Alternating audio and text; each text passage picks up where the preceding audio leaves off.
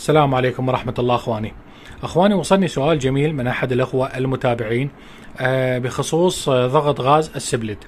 آه، قال لي هل يوجد فرق بين ضغط غاز السبلت الواحد طن والواحد ونص طن والاثنين طن؟ يعني من أجي أفحص غاز السبلت أكو فرق بين احجام السبالت اخواني الجواب بسيط إن شاء الله لكن أطلب من عندكم طلب بسيط. آه، اللي ما مشترك خليه يشترك بالقناة. كلمة الاشتراك هاي الحمراء.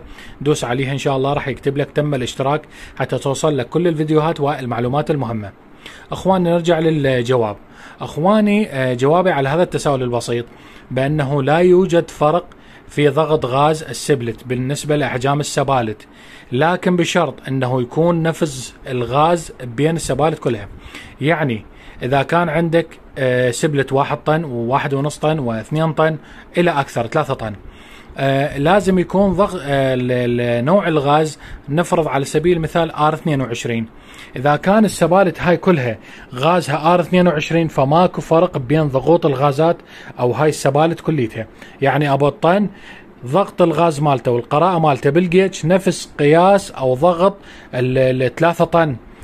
بشرط نفس نوع الغاز إخواني. يعني أنا ذكرت على سبيل المثال ال R 22 R 22 الطبيعي القراءات الطبيعية على الجيتش أه تكون بين ال 50 إلى 55 إلى 60 إلى 65 إلى 70 هذا ال range كله آه الخاص بضغط غاز ال R 22 على خط الراجع أو ال suction الراجع أو خط السحب مثل ما نسميه إحنا. هاي الضغوط كلها نفس الضغوط. ماكو فرق بين الواحد طن ولا ثلاثة طن. بشرط نفس نوع الغاز. كذلك آه، المثل الثاني إذا كان نوع الغاز R 410 نفس ضغط الغاز بين الواحد طن إلى ثلاثة طن. بشرط السبلت أو المجموعة ما السبالت نفس نوع الغاز. يعني إذا تجيب سبلت واحد طن غاز 410 نفس ضغط غاز الثلاثة طن ال 410 ماكو فرق بيناتن.